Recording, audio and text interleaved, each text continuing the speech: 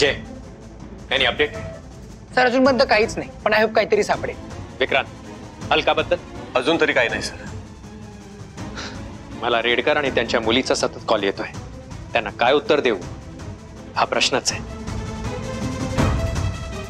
Sir उत्तर सापडलं sir Alka मॅमने गेल्या महिन्यात बंटीच्या फोनवरून एक मिस कॉल केला होता सर त्यांना त्याच नंबरवरनं एक कॉल आला पण तो एक इंटरनेट कॉल आहे आणि तो एका फेक प्रोफाईलने बनवला गेलाय. कॉल बद्दल आणखी काही डिटेल्स सर हा इंटरनेट कॉल असल्यामुळे ज्याने हा कॉल केलाय त्याला शोधणं अवघड आहे. पण मी बंटीचा कॉल रेकॉर्ड केलाय. हायटेक पण कॉल रेकॉर्डिंग हा फॉर्मॅट हल्ली कंपनीने बंद केलाय ना? हो सर. पण बंटीच्या आईने त्याला जो फ़ोन दिलाय तो जुना आहे. त्यामुळे मला हे कॉल रेकॉर्डिंग सापडलं. जय सर अ, तुम्ही जे आता सांगितलं त्यातलं टेक्निक वगैरे मला काही कळलं नाही. अ, पण अ, जो कॉल रेकॉर्ड झालाय तो आपण ऐकू शकतो का? हे बघा. बोलका पत्थर तुमचं हार्दिक स्वागत करतो. धनलाभ होण्याचा सोपा मार्ग आम्ही तुम्हाला सांगू. त्या बदल्यात तुम्ही एकही पै आम्हाला द्यायचा नाही. फक्त आम्ही सांगू तसं करायचं. हॅलो. अहो लवकर सांगा ना मी काय करायचे ते. ते अं, फोनवर नाही सांगता येणार. तुम्ही प्रत्यक्ष भेटायला या. कुठे आणि कधी हो भेटायला? आज संध्याकाळी लाल कलरची साडी किंवा ड्रेस. चार रस्ता मंदिरापाशी भेटा. हायटेक आपल्याला कॉल रेकॉर्ड मिळाला. पण त्या अलकाचा गुन्हेगार कसा सापडला? सर सापडेल. पण हा कॅट फिशिंगचा प्रकार असल्यामुळे थोडा वेळ जाईल. कॅट फिशिंग म्हणजे? आप्पा सोशल मीडिया थ्रू होणाऱ्या सात मेजर स्कॅम्स पैकी कॅट फिशिंग हा एक स्कॅम म्हणजे हा भोंदू बाबाचा प्रकार नाही. Jay. Elaborate Jay sir sir cat फिशिंगच्या गेम मध्ये कॅट फिशर म्हणजे अपराधी खोटे प्रोफाईल बनवून आपले सावज हेरतो. पैशाचं खोटं आमिष दाखवतो.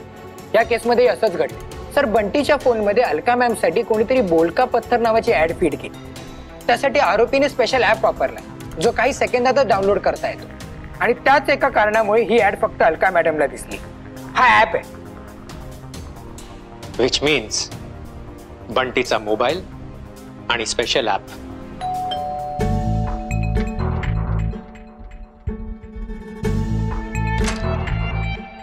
hello Bunty hi Bunty police uncle तुम्ही? येस काय बंटी काय म्हणतोस? कसा आहेस? मस्त. बंटी कोण आलाय?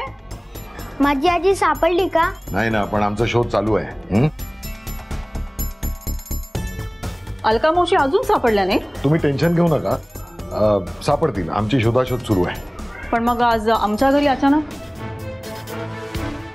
नाही ते काय आम्ही इथूनच जात होतो आणि बंटीची आठवण आली म्हणून भेटायला आलो. बंटी मला सांग तुझा मोबाईल कधी हरवला होता का रे? का कधी तू कोणाला तो दिला होतास? अं, नाही अंकल. नाही शक्यच नाही. कारण मोबाईल म्हणजे त्याचा जीव की प्राण. हो म्हणजे शाळेतून आल्यावर खाली ग्राउंडवर खेळायला जाताना सुद्धा मोबाईल त्याच्या सॅकमध्येच ठेवायचा तो. अच्छा.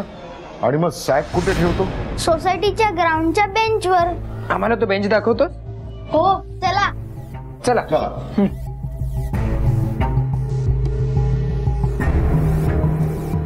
पोलीस परत का घरी आले? नक्की काय झालंय? बंटीकडे का सतत चौकशी करतायत पोलीस?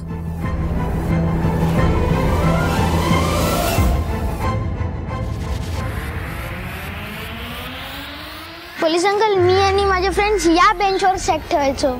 आणि अ, नंतर खेळायला कुठे जायचा? इथे. इथे खेळायचा? हा. अच्छा. अप्पा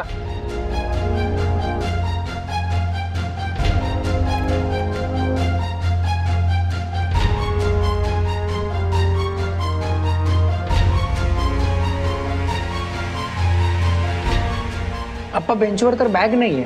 मग बंटीच्या फोनमध्ये त्याने ऍप कसा डाउनलोड केला असेल? Hmm.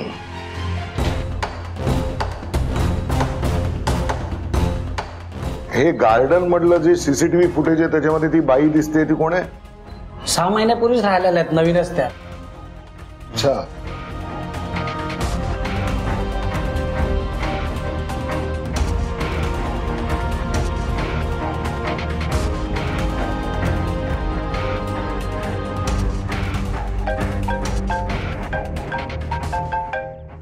Mokshada madam. Jain madam. जय हिंद. मी तुला एक ऍड्रेस सेंड केलाय. त्या ऍड्रेसवर तू आणि आप्पा ताबडतोब पोचा काय झालं मॅडम? अलका रेडकरचा शोध लागलाय.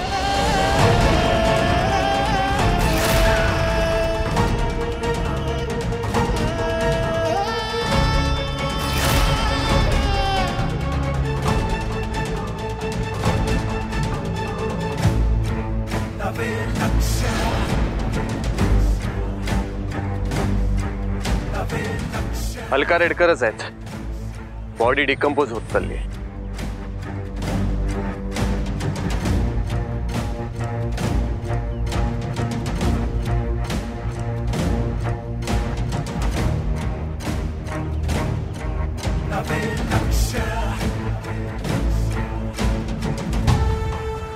बॉडीवर जखमा दिसत नाहीयेत. पण गळ्यावर हा काळसर पट्टा दिसतोय. मॅडम मला वाटतं गळ्या आवळून खून केलाय. शक्यता नाकारता येत नाही. खड्डा आहे पण बॉडी खड्यात माती वगैरे टाकून पुरलेली दिसत नाही. कदाचित खड्डा आधीचाच असेल. गुन्हेगारांनी फक्त आणून टाकले गुन्हेगारांनी डेड बॉडी इथूनच खेचून आणली असेल. पाऊस पडल्यामुळे कुठल्या खुणा किंवा फुटप्रिंट्स मिळणं सुद्धा कठीण आहे. सर आणि जंगल असल्यामुळे सीसीटीव्ही मिळणं अवघड आहे. हिच्या मृत्यूचं खरं कारण काय आहे, ते पीएम रिपोर्ट आल्यावरच काय आपण एक काम करा. अँब्युलन्सला बोलून घ्या. आणि हिच्या घरच्यांना सुद्धा कळवा. Yes sir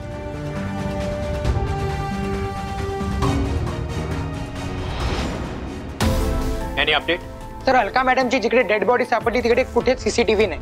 शिवाय आजूबाजूला सस्पिशियस असं काहीच नाही सापडलं. ना झटापटीच्या खुणा ना त्यांचे मिसिंग झालेले दागिने.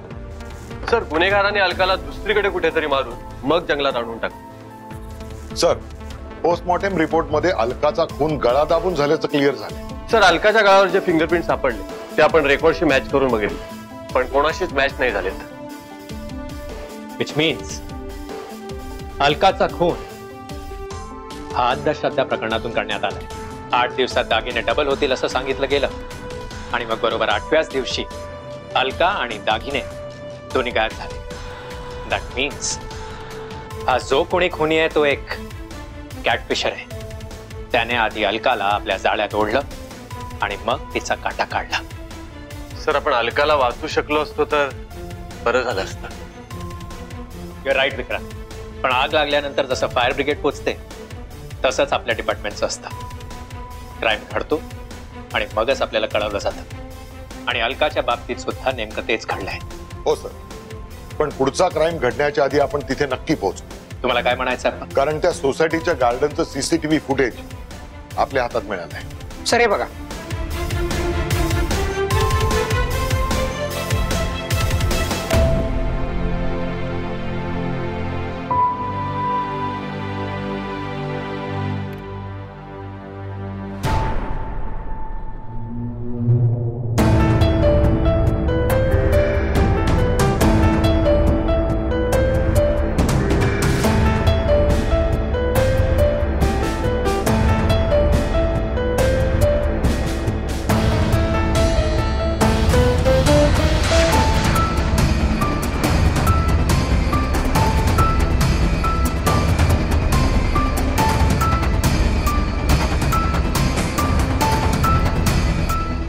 बाई कोण आहे?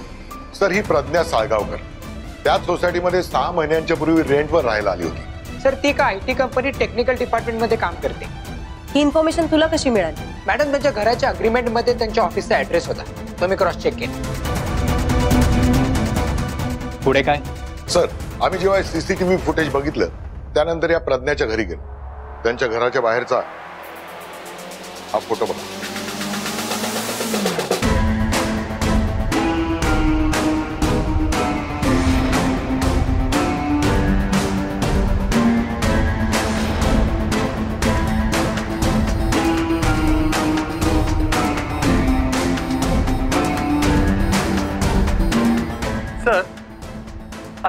सगळ्या गोष्टी अलका रेडकरच्या घराबाहेर सुद्धा होत्या. सर आप्पा दरवाजाच्या बाहेर फ़ोटो काढत असताना आम्हाला दरवाज़ा उघडण्याचा आवाज़ आला.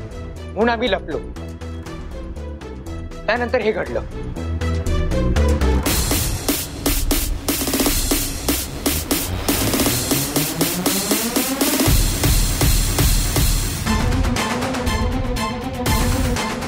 बोलका पत्थरचं रहस्य ओपन करण्याचा प्रज्ञा हा एक सोर्स आहे. म्हणजे सर? मोक्षदा. अलकाच्या बाबतीत ज्या ज्या घटना घडल्या, सोन्याचं वळ सापडणे लेटर पैसे सापडणे, या दोन्ही घटना सोसायटीच्या घडल्या होत्या. आणि प्रज्ञा सुद्धा त्याच सोसायटीमध्ये राहते. विच मीन्स प्रज्ञा एक आरोपी असू शकते किंवा आरोपीचं पुढचं टार्गेट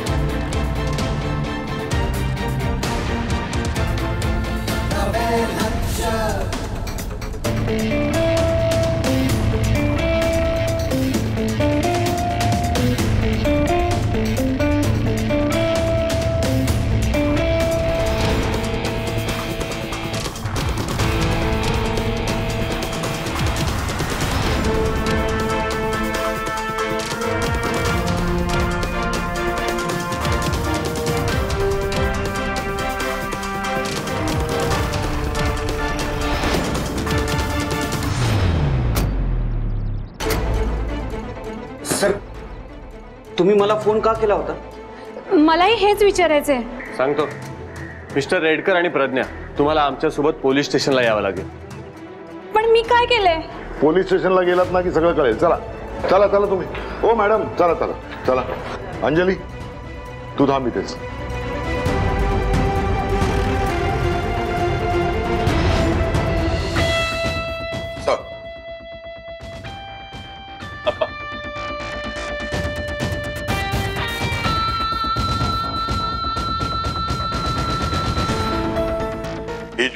तुमची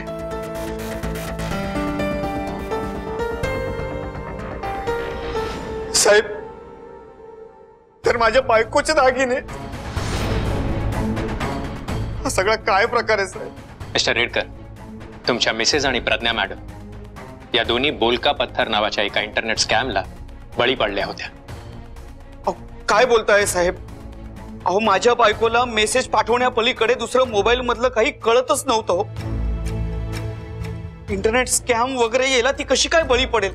त्यांना बंटीच्या मोबाईलच्या माध्यमातून फसवलं गेलं. तुमच्या मिसेस बरोबर जे घडलं तेच या प्रज्ञा बरोबर पण घडलं. माझ्या बाबतीत? बोलका पत्थरनी एक लाखाचे दोन लाख होतील असं सांगितलं होतं ना? तुम्हाला कसं समजलं? माय गॉड म्हणजे माझे एक लाख रुपये? रिलॅक्स प्रज्ञा मॅम तुमच्या आणि अलकाच्या बाबतीत ज्या घटना घडत होत्या त्याने मला कळलं होतं ती ऍक्टिव्हिटी तुमच्याच सोसायटी मधला कुणीतरी तुमच्या ओळखीतलं करत होता. पण कोण? हे आम्हाला कळत नव्हतं. सीसीटीव्ही फुटेज मध्ये सुद्धा सापडत नव्हतं. पण शेवटी तुमच्याचमुळे आम्हाला आरोपीची हिंट मिळाली. माझ्यामुळे? हो. पैसे डबल होतील म्हणून रंगीत कापडात पैसे ठेवून तुम्ही निघून गेला. आणि तेच पैसे कचरेवाल्याने उचलले. माझे पैसे ह्याच्याकडे सापडले? हो. पण हा खरा आरोपी नाहीये. हा नाही मग कोण आहे सर? कचरा गुंडीत तुम्ही पैसे टाकून गेल्यानंतर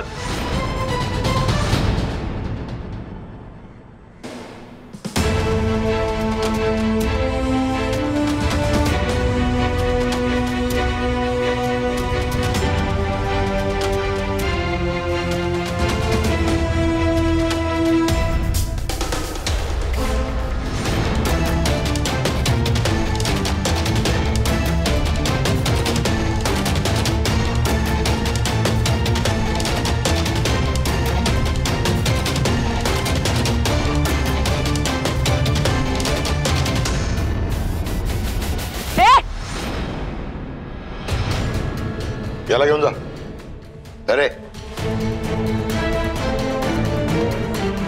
सर हा कोण आहे? हा आमच्या सोसायटीत नाही राहत. हो ना. मी पण या सोसायटीमध्ये नवीनच आहे.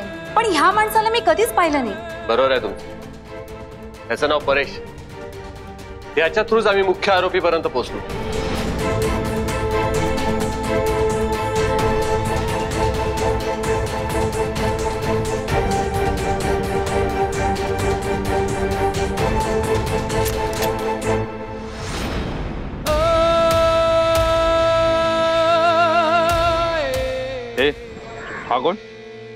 तुझा बाप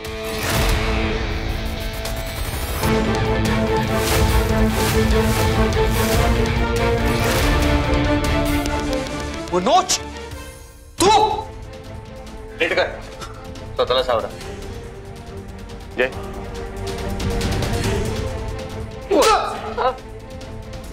चल बोल। या प्रज्ञाला कसं जाळा तोडलं साहेब ही प्रज्ञा आमच्या इथे राहायला आली तेव्हा अगं लिफ्ट मध्ये होते. रेंज गेली. अगं तुझा नाहीये पण माझा भविष्यावरती पूर्ण विश्वास आहे.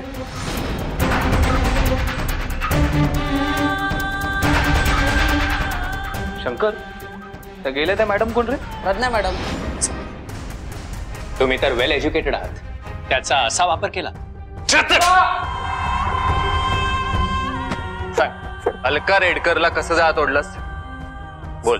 साहेब मी त्या दिवशी सोसायटीत बाईक पुसत होतो तेव्हा शंकर भाऊ पेपरवाल्याने पेपर नाही टाकलास? अहो तो आज आलाच नाही.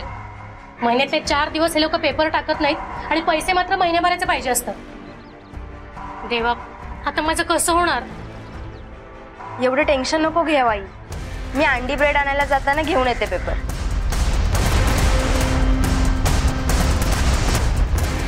अंजू अ, काय झालं? आई एवढी पेपरवाल्यावर भडकली ते? अरे पेपरातील भविष्य वाचल्याशिवाय आईचा दिवस सुरू होत नाही.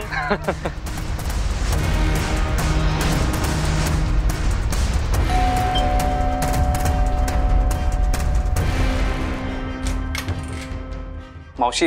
अरे मनोज काय पाहिजे होतं का? अ, ते गणेश काकांचा नंबर हवा होता. माझ्याकडून चुकून डिलीट झालं. हो देते ना. बंटी माझा मोबाईल कुठे आहे रे? असेल बेडरूम मध्ये पण माझ्याकडे गणेश आजोबांचा नंबर आहे. मी देऊ? हो हो. चालेल ना. मावशी थोडस पाणी मिळेल? हो आणते ना. तू बस.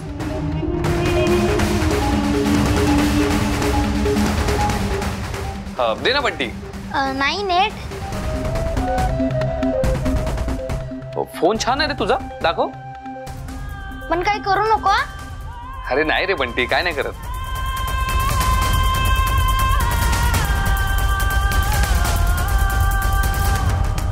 हे घे थँक्यू बंटीचा फ़ोन घेऊन तू बोलका पत्थरचा ऍप डाउनलोड केला. हो साहेब. सगळं काही नीट चाललं होतं. आणि अलका मावशीला बोलका पत्तर या गोष्टीवर विश्वास बसावा म्हणून मीच ते पैसे आणि सोन्याचे वळे प्लेस केले होते.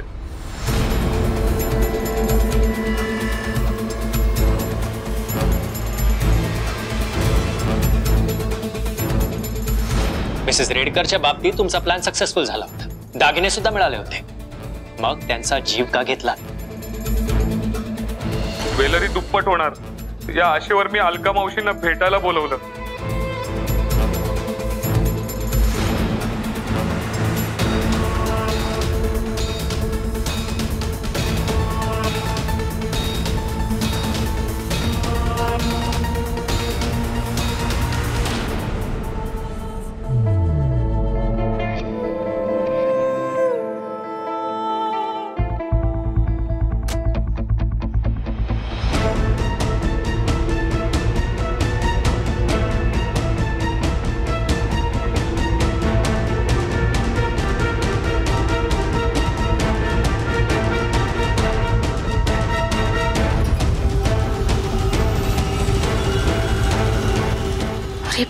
कार तर लॉकच नाहीये आणि मी त्यात ज्वेलरी ठेवली आणि ती जर चोरीला गेली तर तेलही गेलं आणि तूपही गेलं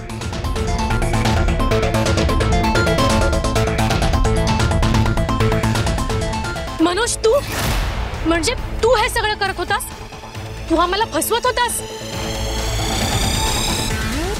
तुझी तर आता पोलिसात कंप्लेंट करते मी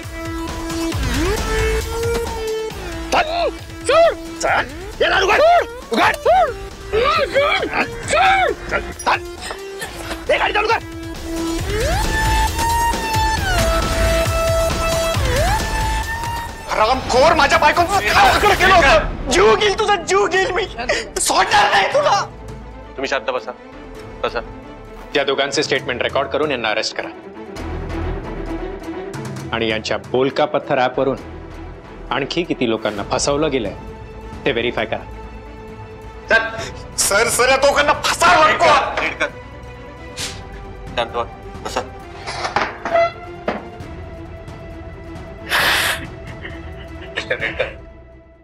यांना शिक्षा देण माननीय कोर्टाचं काम आहे. चूक फक्त यांची नाही आहे तुमच्या मिसेसची. या प्रज्ञा मॅडमची सुद्धा आहे. असा जर पैसे आणि दागिने डबल व्हायला लागले तर जगातले सर्व श्रीमंत होतील. म्हणून एकच सांगतोय. माणसाने श्रद्धाळू असावं. अंधश्रद्धाळू नसावं. नाहीतर या मनोज सारखी व्हाईट कॉलर माणसं वेगवेगळी अमिष दाखवून तुम्हाला सायंटिफिक माध्यमातून फसवत राहतील.